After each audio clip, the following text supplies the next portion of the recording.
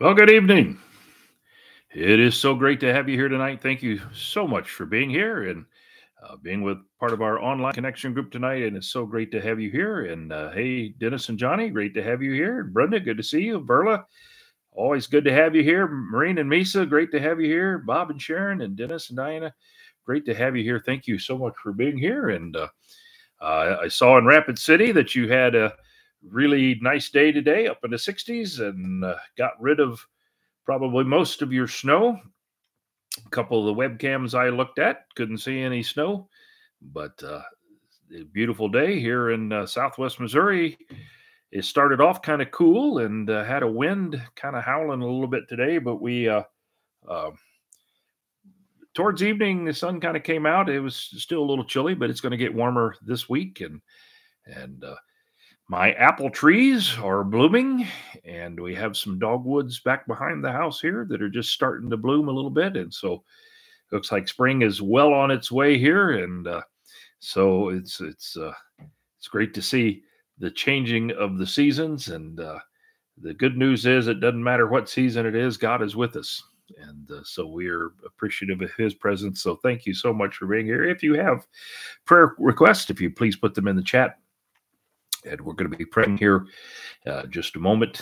And uh, if you have your prayer sheet from Crossroads, we're going to be walking our way through that and uh, and just be praying for the requests that people have put on the prayer cards and uh, and just uh, be walking our way through that. Also, uh, just a couple passages that we're going to be looking at from John chapter 20. So if you have your Bibles with you, if you'd like to look at John chapter 20, a couple passages we're going to use there and other passages as well. Uh, but we'll walk through a couple of those together. And tonight, as we uh, we're going to continue uh, before Easter, we were doing a little series where we were uh, uh, um, we were doing a little series where we were talking about um, the people who were at the cross. And if you don't mind, I would like to continue that tonight and kind of end up with a uh, one more person who was at the cross. And so we're going to be looking at that tonight. And so uh, we want to be remembering that. And uh, uh Denise, I think, has mistyped there. Uh, Dennis and Johnny's neighbor has cancer. And so we want to be praying for this neighbor that has cancer um, and just be praying for that. Uh, also, if we want to continue to pray for my friend Carrie and her husband Mark. Uh, we've talked about it before, but Carrie has stage four cancer. And then Denise's Uncle Dale, if we could continue to remember him as well. And uh, and so let's just uh, continue to pray for that and and just ask God to be working in that. Well, if you have your prayer sheets and if you'd like to follow along, if not, let's just uh, agree together in prayer and, and let's just be praying. God, thank you uh, it was we just this past weekend came through Easter. Our, our hearts were just gladdened, and we were reminded of just the power of the fact that Jesus Christ died for our sins and then came back to life. And I know we celebrated it this last weekend, but uh, quite frankly, this is something we could celebrate every day. And I hope that we do. The fact that Jesus Christ died on the cross for our sins and then came back to life. And so we thank you for that. We thank you for the fact that we can have a relationship with you. And we thank you that that you walk with us every day. You're an ever-present help in the time of trouble. You're that friend that sticks closer than a brother. And God, we just worship you and just thank you for all that you have done for us. And and God, your dying on the cross was more than enough, but then you continue to bless us and continue to walk with us. And you are so good to us. And so, God, we're just grateful and we just thank you for that. And God, tonight, as we just pray, we're just uh, praying for Crossroads. And uh, God, I just would pray for unity in the church and just pray that there would be no drama. And and God, I pray that you'll just be walking with Pastor Sonny and Missy and and the board as uh, as they lead this congregation. And thank you, God, for the candle being lit for people who have been coming to you and God, we're just so grateful for that. And we just to praise you. And uh, God, we know the youth pastor is coming very soon. And and I pray that you'll just be in that transition and and and God just uh, be walking with them, I pray. And God, so we just pray peace over Crossroads. And I pray that you'll just continue to move hearts. Rapid City needs Jesus. And I pray that you'll help Crossroads to do that and help them to just continue to focus on that. That and uh, that Rapid City needs Jesus, and and any other issue is a minor issue. The major issue is that Rapid City needs Jesus. So, God, uh, we just pray that you will be there tonight and the adult groups that are happening and the kids club that is going on. Be with Jackie and Scott and Holly as they minister to the kids. And then those who are ministering to the youth tonight, God, I pray that you'll just be with them. And I, I just pray throughout everything that is going on that your presence will just be felt and that you'll just be there in a powerful, powerful way. And God, we pray tonight that you will be in our study as we take a look at another person who was at the cross and we look at their story, I pray that you will just be walking with us and help us to just not only learn something, but God, help us to connect with you. And so, God, we just pray that you will just be uh, with us tonight. And God, we're just reminded uh, Sally is asking us to pray for her husband, Felix. And uh, God, we don't know what's going on, but she asks for salvation and asks for her marriage and and deliverance from alcohol and drugs and gambling. And she's saying, "Lord, restore my marriage." And and God, we don't know all what's going on here, but God, we pray that you will just be touching Felix tonight and bring people, bring situations into his life. And God, we just we just ask that you will just be just helping Felix tonight and just convict him, God and God, eh, we would echo that. I know all of us on here tonight have loved ones who uh, need you. And so we would just echo this prayer to say, God, would you just bring people or situations or whatever into their lives? And God, just reach them, we pray. And, and, and God, we know that when we pray for someone to be saved, we're praying in your will. And so, God, we ask that you will just be working and and just bringing. May your Holy Spirit just be bringing those people to the spot where they will accept you as their personal Savior. And Marjorie is asking for her friend with the health issues. And God, I just pray that you will be with John. And God, I don't know what John's spiritual condition is, but God, just be with him as he deals with these health issues.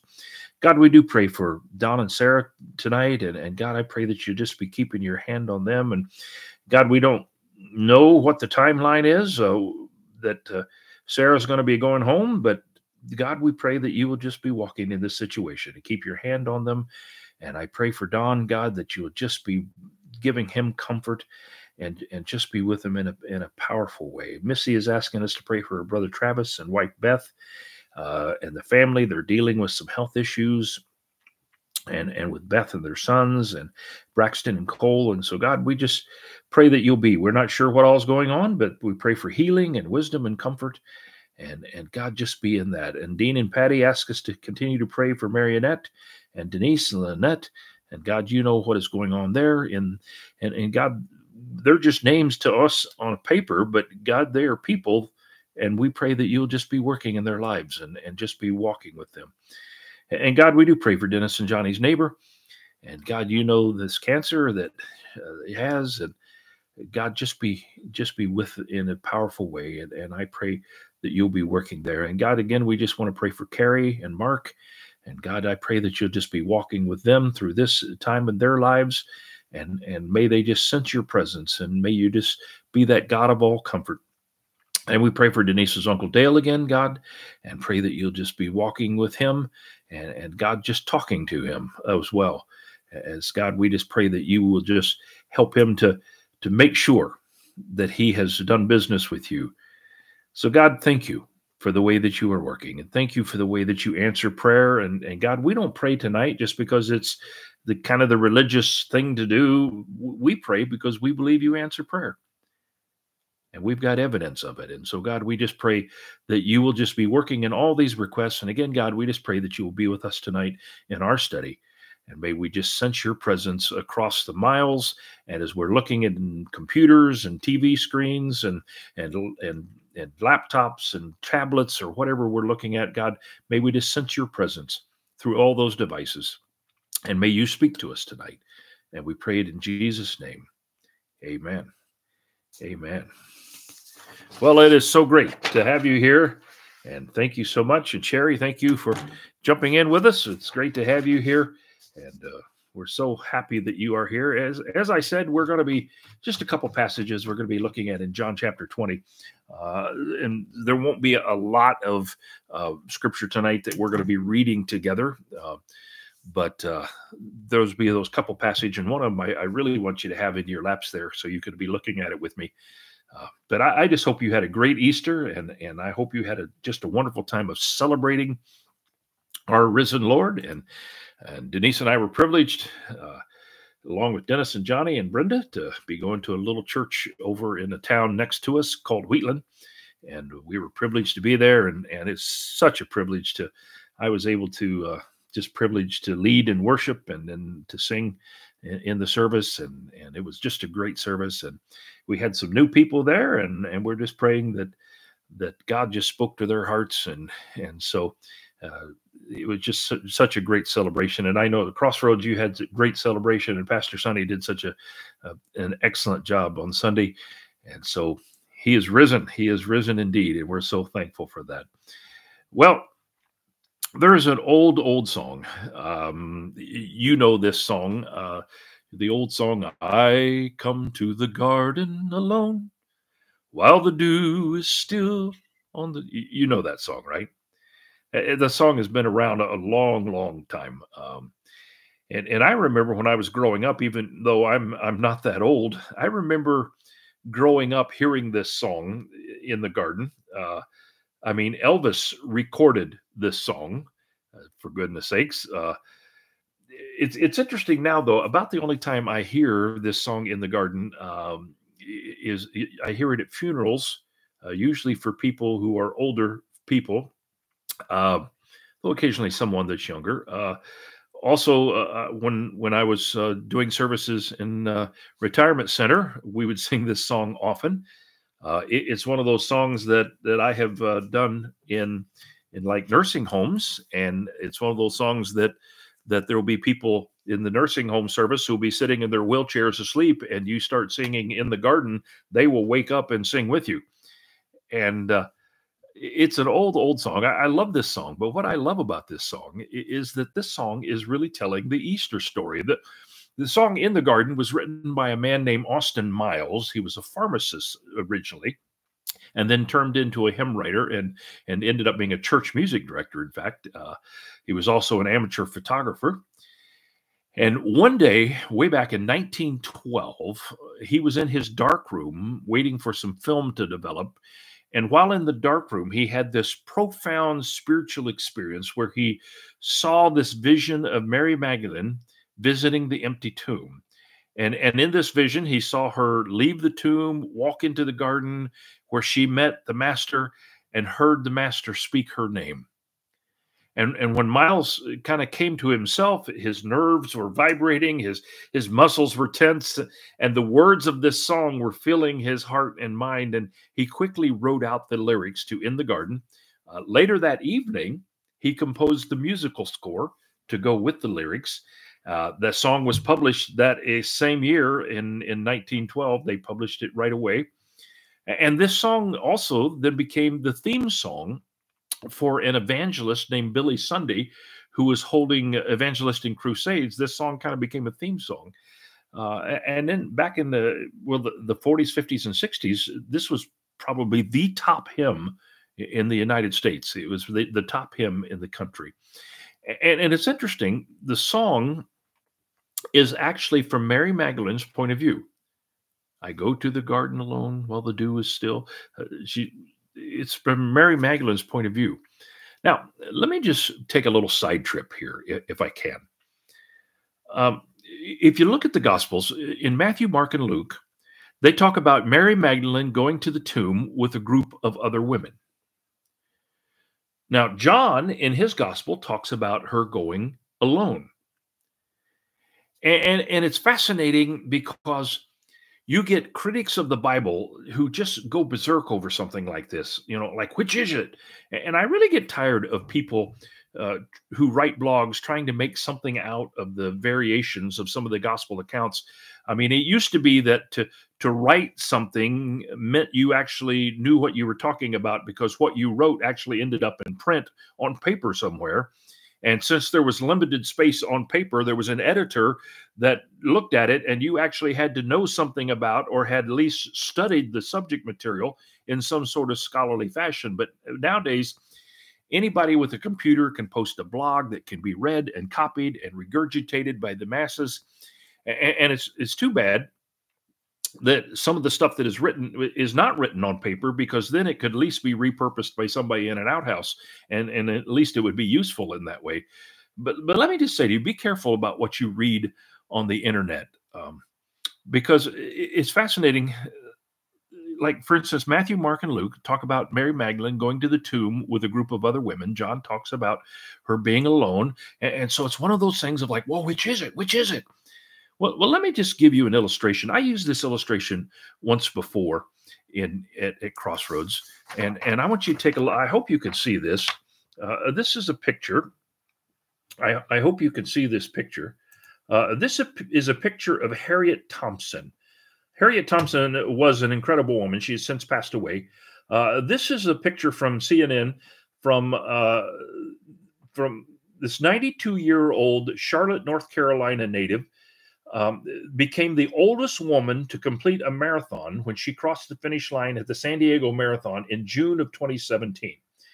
Uh, she had a time of seven hours, 24 minutes, and 36 seconds to be exact. And she completed this marathon at the age of 92 years and 65 days. And the headline with this picture was 92 year old becomes the oldest woman to complete a marathon. Now, th- this is amazing. Wouldn't you agree? This is incredibly amazing that a 92 year old woman um, did this. This is an incredible, incredible feat. B- but I want you to look at something here, um, if you can. This is this is Harriet. If you look here over her shoulder, y- you see that young man that is there. Well, well, that young man is Harriet's son, Brenny. And, and ran every step of this race with her, being a support, being an encourager, feeding her snacks, helping her in the race. And he played a very, very important role in this story. So, what if we change the headline to 92 year old woman runs and completes the marathon with her son? So, we have two headlines 92 year old woman runs the marathon. Second headline is 92 year old woman and her son runs a marathon. So I would ask you, which one of those headlines is correct? One or two? Which one of the headlines is correct? Well, the obvious answer here is that both of those headlines would be correct, right? But our blogger friends would protest. Now, wait a minute. Aren't those stories different? I mean, the, the one headline tells nothing about the son, so isn't the story different? And, and, and, the answer is absolutely not. It's it's the exact same story, and the, and the different headlines is describing the exact same event. You, you see what I'm talking about? But you know, but there would be people say, well, you know, the one the one story says nothing about the sun, so the stories have to be different. And and no, they're not different stories. They're the exact same story with a different perspective. One is focusing on the 92 year old woman who did this incredible event. The other one is mentioning in a little greater detail who else was there. So they're both the same story with different perspective and different levels of detail. Does that make sense? And we see this so, so many times in the gospel accounts there's an account of a demon possessed man uh, or demons possessed men in the Gadarene tombs. Now, Matthew, in his account, talks about there being two men, but Mark and Luke only talk about one. Now, Mark and Luke don't say that there was only one demon possessed man. They simply said that one of the two men met Jesus and spoke with him. So, of the two men that were there, only one of them spoke, apparently. And, so while Matthew gives the details of their two men, Mark and Luke focus on the one who was speaking. They focus on the one who spoke, and for whatever reason, they pass on the detail of the fact there were two of them there. You, you see this in the Easter story at the tomb. Matthew and Mark tell about an angel speaking to the woman. Luke gives a little more detail and says there are two angels, of which one of them spoke.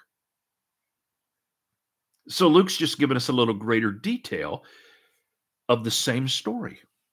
John doesn't say anything about angels. John is more interested in Mary's response. The fact is, they're all telling the same story, just with different levels of detail. Now, quite frankly, here's the deal if all of the gospel accounts told the same story with the same detail, you know what the critics would be saying? The critics would be saying, "Well, there's collusion, and and they're they're they're all got copying off of each other," and the story would be suspect. But the fact, actually, that the stories are different actually tells us a little bit about the reliability of the Bible, in the fact that the, they all have a story from a perspective of a different eyewitness, and each eyewitness gives us a different level of detail.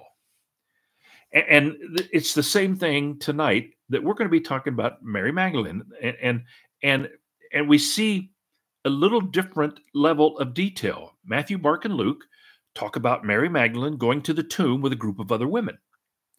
John says she was alone. So which was it? Well, if you look at the gospel narrative, it, it is it, it, it's what probably happened is that the women go together as soon as Mary Magdalene sees the stone is rolled away, she takes off running. In fact, I want you to listen to what she says to Peter and John after seeing the stone rolled away. And this is in John chapter 20. If you have it there in your Bibles, uh, we're going to be looking at right here at verses 1 and 2, John chapter 20, verses 1 and 2.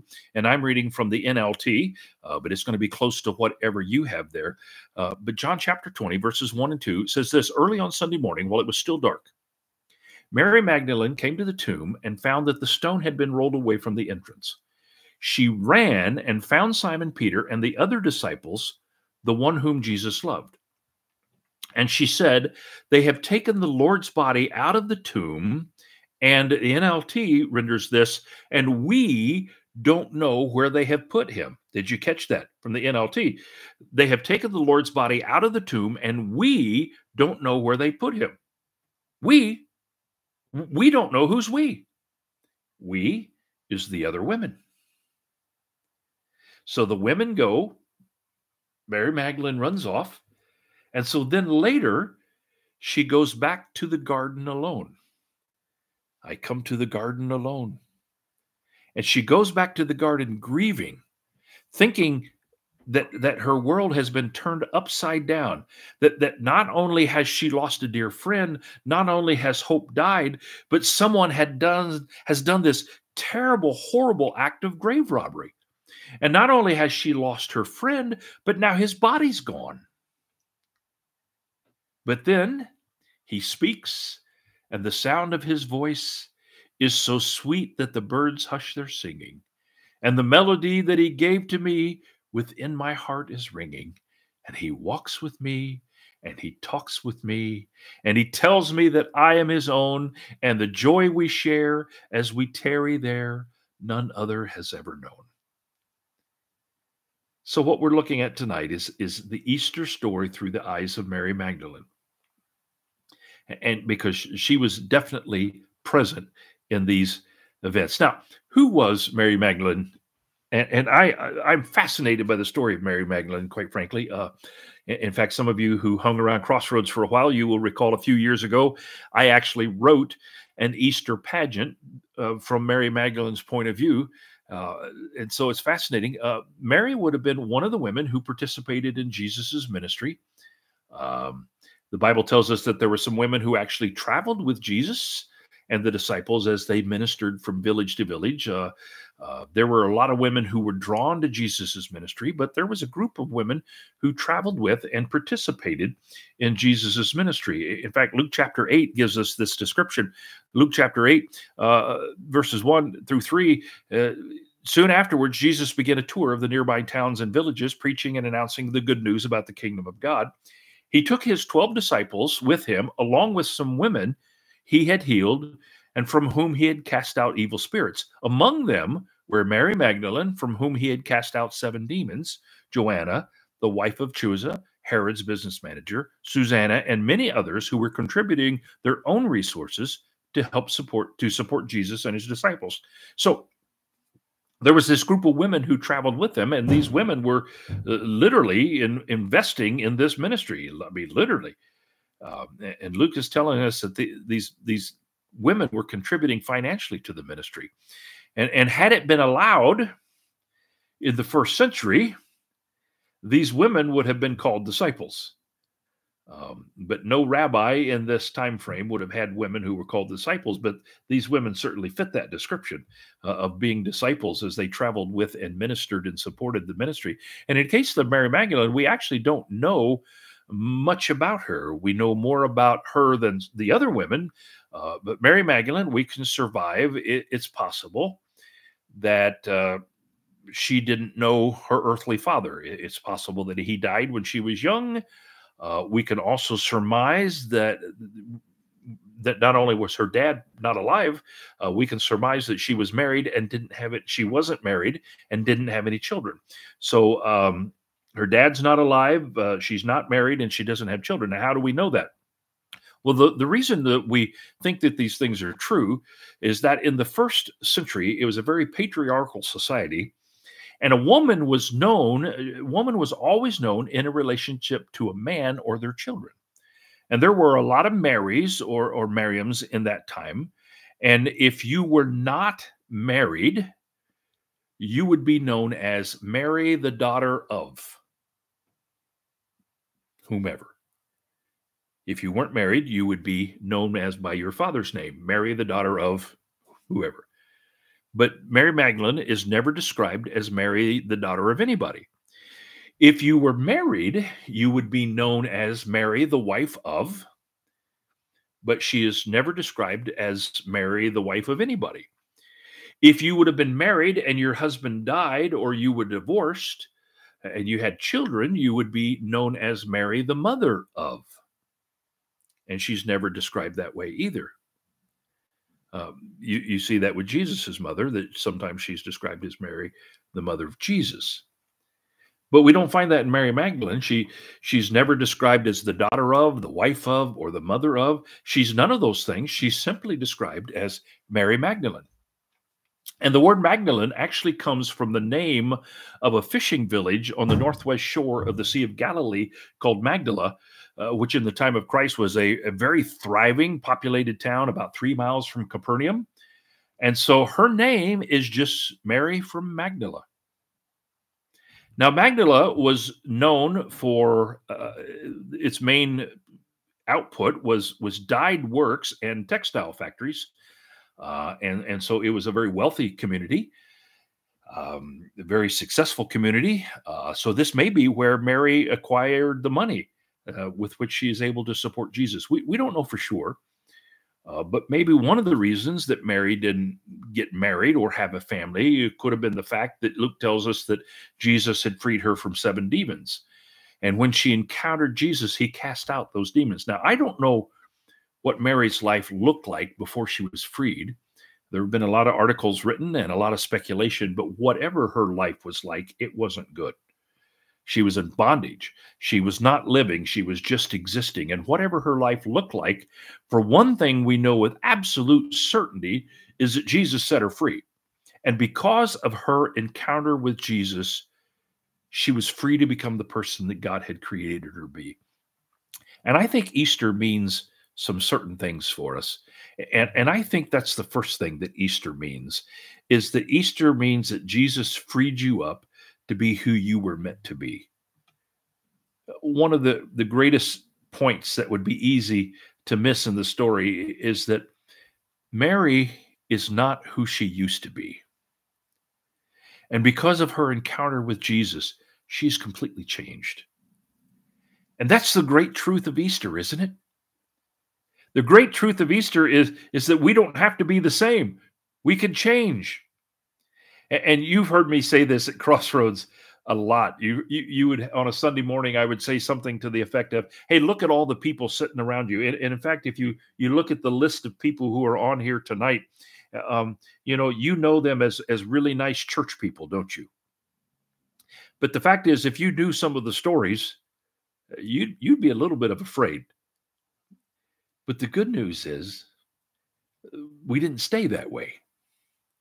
We didn't stay that way. Jesus changed us. And the Bible says that Mary had seven demons, and and and we sometimes use a term to refer to people who are struggling, and and we'll use a term where we say, well, you know, they're just, they're just kind of fighting their demons, and and and and that's kind of a lot of people are like that today. A, a, lot of people, you know, are struggling with stuff, and and and and when they're alone I, you know i don't know what runs through their heads and and i don't know the weaknesses that we fight on a daily basis but but i know a god who changes people. I know a god who sets people free I know a God who liberates. I know a God who heals minds and heals spirit. I know a God who takes alcoholics and makes them sober. I know a God who takes addicts and makes them clean. I know a God who takes people with all sordid pasts and make them holy. That's what Easter's about, isn't it? That God takes sinners and makes them saints and, and we had played the video several times at, at Crossroads of, of SM Lockridge in, in that great uh, uh, sermon that he did, you know, where he says, That's my king. And, and, and you remember in that, That's my king, one of the things he kept saying is, Do you know him? Do you know him? That's my king. And that's what Easter's about. Is that when we come to know God, he changes us. And I love what John says in John chapter 8, verse 34. Jesus replied, I tell you the truth. Everyone who sins is a slave to sin. A slave is not a permanent member of the family, but a son is a part of the family forever. So if the son sets you free, you are truly free.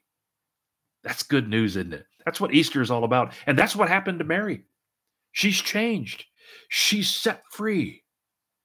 And now she's involved, and now she's an eyewitness to the most important event that this world has ever seen. And that wouldn't have happened if she had not been changed. And, and, here's something that I believe with all my heart that I believe you can never reach your full potential until you surrender your life to God. I believe that with all my heart that you can never reach your full potential until you surrender your life with God. And I believe that God made all of us with a purpose in mind. God says, I know the plans I have for you. God says, I knew you before you were formed in your mother's womb. Before you were born, I set you apart and appointed you. And, God says, I, I I've got special plans for you. I've got people who need touching. I, have got kids that need a friend. I've got neighborhoods that need change. And, and, and he says, I want to make you the best possible version of you. One of the interesting things about Mary Magdalene is, is all the stuff that has been attributed to her that is not true. Uh, for instances, it was widely circulated that she was a prostitute. Well, the Bible never says that. Uh, that's because uh, in the sixth century, Pope Gregory, in a sermon that he preached about Mary Magdalene being a model penitent, merged her identity with the, the sinner who anoints Jesus' feet in Luke chapter 7. And although we know from other gospels that it wasn't her, she wasn't the woman who did that. Um, and then all the novelists and screenwriters always try to insert something salacious into the life of Jesus. And when they try to do that, they focus on one woman, Mary from Magdala. Uh, she's been in movies as a prostitute. Uh, there are some people who love to tout a text that was found in the fifth century called the Gospel of Mary, but the, the problem with, it is it's not Bible or gospel. Um, and then this Gospel of Mary, we don't even know uh, what Mary is being referred to in this book and and this book was written actually hundreds of years after Jesus died. Um, and, and, it's interesting enough. It, there, this book is a book of nine chapters. There are six that are missing, and the two that we do have are only partially there. So if you ever hear anyone quote to you and try to make some kind of point from the Gospel of Mary's, don't believe anything that somebody might try to tell you out of this lost gospel. Um, and there have been so many people Dan Brown, William Phipps, uh, Martin Scorsese, all of them have tried to portray Mary Magdalene as the lover or the wife of Jesus. And, and there is no evidence either in the Bible or any other reliable text outside the Bible. And I, I read this quote. I, I thought this was great. They said this whole idea is kind of like uh, heartburn after eating at a cheap Mexican restaurant. It just keeps coming up. And one of the things I one of the problems is our culture has gotten to the point that our culture can't understand love and can't imagine it without a sexual component. Uh, there are people that can't grasp the relationship between Jesus and the Apostle John uh, because the Bible talks about John is the one that Jesus loved. Um, you know, and so they can't imagine that. And and that brings up kind of another thing about Easter because Easter, Jesus frees you up who you were meant to be. And, and, then the second, I think Easter means you can know love. Now, I didn't say that you could be in love, I said that you could know love. And the fact is, God doesn't just love us, God is love. God is love. But how do we define it? Now, the Heritage American, the, the American Heritage Dictionary defines love as an intense affection for another person based on a familiar or personal ties. Uh, an, an intense affection for another person based on familiar or personal ties. So we love other people, or when we say that we love other people, that, that we are attracted to them and they make us feel good. But the key phrase in the dictionary it says that it's based on. And that phrase implies that we love conditionally. In other words, we love someone because they fulfill a condition that we require before we can love them. So our love is not only conditional, it's also subject to sudden or unpredictable changes. We love based on feelings or emotions that change from one moment to the next. So it's almost impossible for us to comprehend a love that is unconditional. And I don't think that even those of us who have been around church for a long, long time completely understand God's love. It's totally without conditions. And I want I want you to look at a very familiar verse. And, and I want you to listen to this verse like you were hearing it for the very first time. This is Romans chapter 5, verse 8. And, and I'm going to do it in the message translation. Romans chapter 5, verse 8, and this is the message translation. Listen to this like you're hearing it for the very first time. But God put his love on the line for us by offering his son in sacrificial death while we were while we were of no use to him whatsoever. Now let me say that again.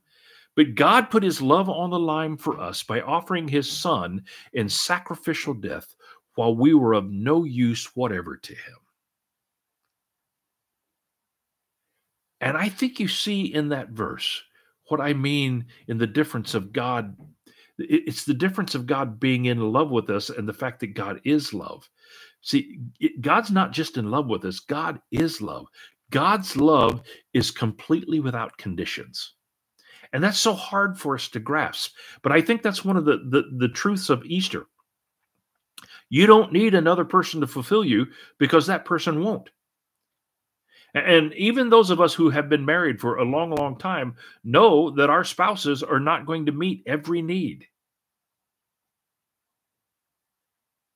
Only God can do that. And, you know, it's a fact that people may not be able to reach you when you feel alone or isolated, and when you feel like no one notices you.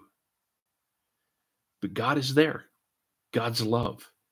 And and when you look at your life and and and things seem being like there's just seems like they're just such a mess and there's no way out, God's there. And when your past haunts you, and, and, and all of us have a past, and, and we're all embarrassed by the things that we've done. And, and when you're embarrassed, God's there. He's love. And, and when you would never want anyone to know the things that you've done in those private moments, and you would be mortified if others knew, God's there. God's love and you can know love because God's love is not conditional. God's love is not based on what you can do for Him. God's love is not based on how you act. God's love is not based on, God is love. It's completely unconditional. So, Easter, really, I mean, we see that whole thing that Jesus frees us up to be who we're meant to be and, and and because of easter you can know love. And i think also because of easter this is one of the huge things. Because of easter we can know god personally. One of the things that a few years ago it's been many years ago now but i was reading the easter story. And one of the things that just leaped out of me is one little word in the easter story that we read there tonight. One little word and you know what the one word is? The one word is Mary. Look at Mary's encounter with Jesus in the garden. And this is John chapter 20. If you've still got it there, uh, turn to verse 15. John chapter 20, verse 15. And there's one little word here that it just jumps out.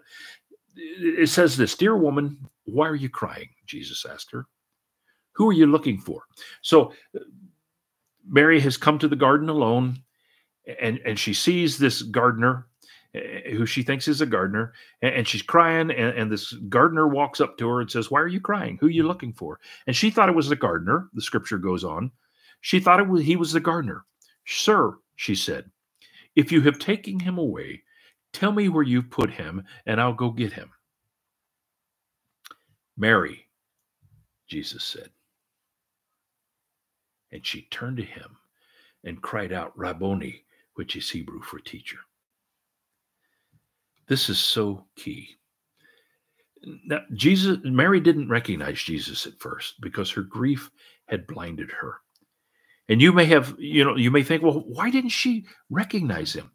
Well, uh, I want you to think about this.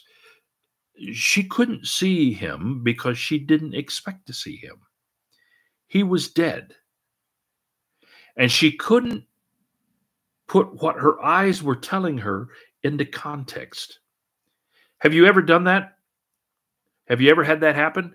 I just this last summer had this happen. There was there was a pastor friend of mine who uh, was retired, lives in Oklahoma, and I was working security at a at, at the racetrack that's here local, and and I was uh, standing guard over this gate that people were coming in, and this pastor friend of mine walked in, and I said to him, "Hey, how are you doing?" and, and called him by name, and he looked at me I for several seconds, and we've known each other for years.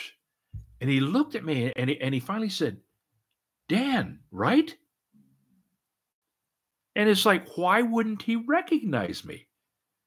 Well, I was completely out of context. He, he, he's come up from Oklahoma to watch a friend of his race and and had no idea that that I didn't still live in South Dakota and he's in Missouri and he sees me it's out of con and he didn't recognize me. He stared straight at me and was like finally recognized me. And, and it's one of those things that, that we can give Mary a lot of grief but that's what's happening here. She thought Jesus was dead. And she sees him and she can't put into context what her eyes are telling her. And when Jesus spoke her name, she immediately recognizes him. Imagine that moment. Imagine Jesus calling your name. Because that's what the cross and resurrection of Jesus Christ is all about. The Bible tells us that at the moment of Jesus' death, the curtain that separated the holy place, the area in the temple where the priests ministered, the curtain that separated the holy place from the most holy place or the Holy of Holies, where God was and only the high priest could go, that curtain that separated those two rooms when Jesus died ripped in half. Now, this is going back quite a few years ago. But I remember when the Dodge Viper first came out. It was 1992, in fact. The Dodge Viper first came out. I was living in Gillette, Wyoming at the time. And, and the man who owned the Dodge dealership went to our church. And, and, and, uh, now you, you have to little give me a little context on the Dodge Viper. The Dodge Viper was like this super sports car. Um, in 1992, the Dodge Viper was listed at $55,630, which was unheard of for a car in 1992. Now, that first year in 1992, Dodge only made 285 of those cars.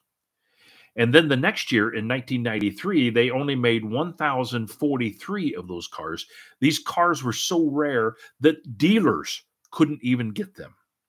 And, and it was sometime in 1993 that our local dealer got one, just one. And because there were so few of them, even though the list price was 55,000, these cars were selling for well over $100,000. So when a dealer got one, they wanted to take extra special care of, of this valuable investment. So uh, the pastors of our church uh, had been at a staff meeting and and we were uh, gone out to eat after the staff meeting together and and we were on our way back to the church. And as we were driving along uh, senior pastor who was isaac smith uh, said hey any of you guys seen the viper yet? And all of us said no none of us had seen it. And and so we stopped into the dodge dealership to get our first look at this new muscle car. And the showroom had every other car removed. The only car in the showroom was this Viper. And it sat in the middle of the showroom, all gleaming red, and, and had a fence around it. So nobody could get close to it and possibly damage it. And there were people standing around the fence looking, and, and we went in, we did the same thing. We we stood outside the fence and we were admiring this mechanical marvel when the owner of the dealership walked in, the guy that went to our church, and he walked into the showroom as we were standing there looking at this, and he said, Hey, pastors, do you want to see my new toy? And he walked over and he opened up the fence and he motioned us to come in. And while all the other people stood outside the fence, we walked in and we opened up the hood and we looked at that big V12 motor and we touched it and we walked around it and we sat in it. It's a huge difference when somebody calls your name and says, Come on in, he's with me. And on Easter, that curtain tore. And the Bible says that Jesus became our high priest. And that curtain, when he died, ripped from top to bottom. And he allows us now to come into the most holy place because he's our high priest. And Jesus turns and he calls out your name and he says, Come on in. You're with me. Just like Jesus calling out Mary's name, Jesus is still calling out names today. And Jesus is saying your name, and he's saying, Come on in. You're with me. In fact, Jesus says it this way in Revelation chapter 3, verse 20. He said, Look, I stand at the door and knock. If you hear my voice, open the door, and I'll come in, and we'll share a meal together as friends. And that's the good news, isn't it? That's the good news that Jesus calls our name. And I have always been struck by all the things that Jesus could have said post resurrection. And what did he choose to say? He chose to say, Mary, because he calls us by name. He knows us personally. So the fact is, Jesus frees us up to be who we were meant to be and the fact is, we can know love because his love is completely unconditional. And the fact is, we have a God who knows us. He knows where you are. He knows what's going on in your life. He knows you personally. And the better part is, you can know God personally. And God said, I call you friend. And God still calls us by name. That's good news, isn't it? That's such good news. I come to the garden alone while the dew is still, and he walks with me, and he talks with me, and he tells me I'm his own. That's great news, isn't it? That is great news. Let's pray together. Father, thank you for your word tonight. Thank you, God, that you help us to become the person that we were intended to be. When we surrender our lives to you, that's when we reach our full potential. And thank you, God, that you love us unconditionally, that even when we were of no use to you, you still loved us and you sent Jesus to die for us. And thank you, God, that you still call us by name and we can know you personally. And you say, Come on into the presence of God because he's or she was me, with me. Thank you, God, that we can know that. And Easter makes all the difference. And so, God, we just rejoice in the truth of this season. We rejoice in the fact that you died on the cross for us. You came back to life on the third day. And now you sit at the right hand of the Father, interceding for us. And one day you are coming back to take us home. Thank you for that truth, God. And thank you for the truth of Easter. And I pray that tomorrow that you will help us to live like the tomb is empty and help us to live like people who know the tomb is empty. And thank you for your love. Go with us now, God, and keep us in your care. And I pray this in Jesus' name. Amen. Amen.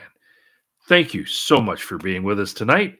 And we'll be back right here again on Wednesday night at uh, 7 o'clock Mountains and 8 o'clock Central. And love to have you come back and join us next week as we got just a few weeks left in this season. And so we'd love to have you come back. Make sure you're in service on Sunday and uh, make sure that uh, you are worshiping with your with your family on Sunday, whether in person or online make sure you're going to be there. Well, it's so great to have you here tonight. Thank you for joining us. It, it just means a lot to me that you would just take the time to come out and uh, just enjoy this time together. So thank you for being here. God bless you. Have a great rest of your week.